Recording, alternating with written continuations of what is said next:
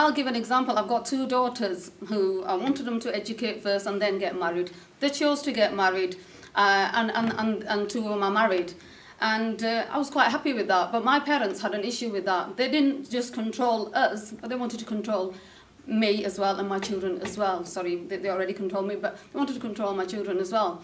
Um, and again, it's the, it's the, you know, the of debate and what will other people say. Uh, one of them, actually, and this, this is the point that I wanted to make Yeah. uh, earlier, one of them, we went on holiday seven, eight years ago, liked a boy there and actually wants to go and get married there, which is, for me, it's a, you know, I wouldn't have it, but it's a choice thing. There's a very fine line between arranged and forced. Forced is a symptom, an extreme symptom of arranging a marriage. And it is an issue, but of course, it's again, it's about the media and they, they, they want to kind of perpetuate this negative image that our community has, but it's just one issue. And like I said, there's a very fine line. I was arranged to be married to my cousin at the age of seven. Now, I could have gone along with the status quo.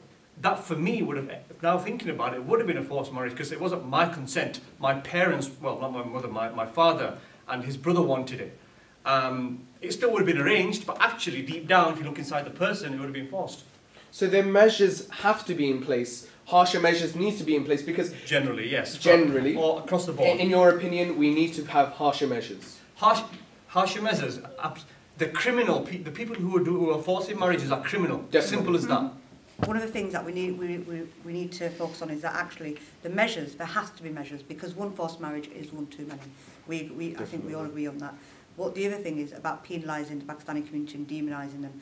There, is, there, there are better ways of doing things. There has to be a fine line between it without magnifying it into something that just, it, it, it, there is an issue. We can't deny that. We can't brush that under carpet. But we need to look at ways of addressing that issue. I'm from the NHS and my background the NHS, we have diabetes, a higher prevalence of diabetes amongst South Asian people. So we will naturally target those people to do more tests amongst them. And the similar thing applies. If we have an incidence of forced marriages and there, are, there is an instance within the Pakistani community, then we need to address that. We need to give them leaflets out because it makes sense to do that.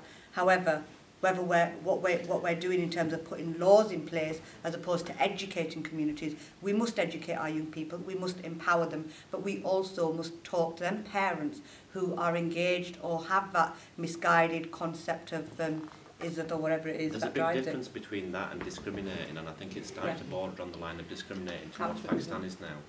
We've evolved as a community, as a Pakistani community. Our parents came over and they basically came with what they know from Pakistan or India or wherever, and we're emerging as a community, as a society. And it seems as though it's all the negative aspects of mm. it that are being polarised and brought forward to, to the forefront. And all the really positive things about families and all the values that we bring in, which are really, really positive. It's that minority who, forgive my French, take the piss with the system, allow their partners to come over for the wrong reasons that hinder on the genuine love cases.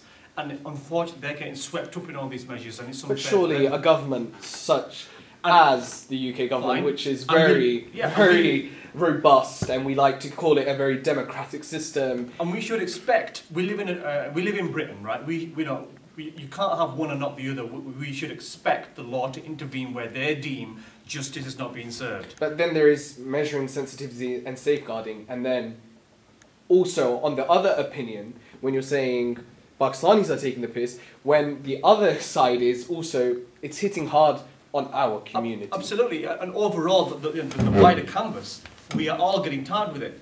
You know, all we've got to do is go outside. If we look brown, have a beard, or even have a God forbid have a rucksack or a, you know a, a head a headgear, we're assumed to be groomers, terrorists, uh, people who uh, um, you know perpetuate forced marriage, all the rest of it. So it's that minority which, unfortunately, t- um, you know targets and tarnishes the rest, and it's not fair.